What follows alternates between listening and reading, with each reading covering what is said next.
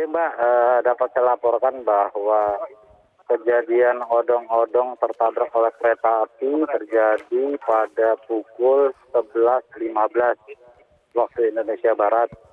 Untuk TKP sendiri ada di desa Silebu, Kecamatan Keragilan. Jadi kronologis kejadiannya konvoi odong-odong, dua odong-odong akan melintas perlintasan kereta api.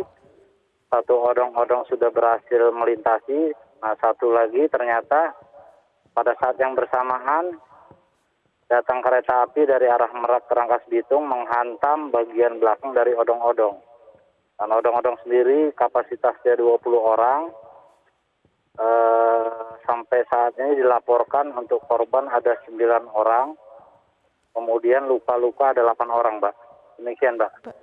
Baik, Pak Yuda, seluruh korban eh, kecelakaan ini dirujuk ke rumah sakit manakah?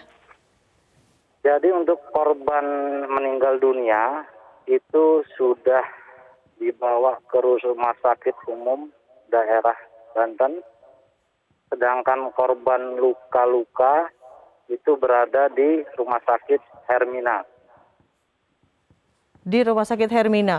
Pak, eh, asumsi saya karena ini odong-odong pasti ada anak-anak di sana, betul demikian? Boleh didetilkan korban eh, luka-luka, anak-anak berapa, lalu korban jiwa anak-anak berapa? Untuk anak-anak eh, info dari anggota ada tiga orang yang meninggal dunia.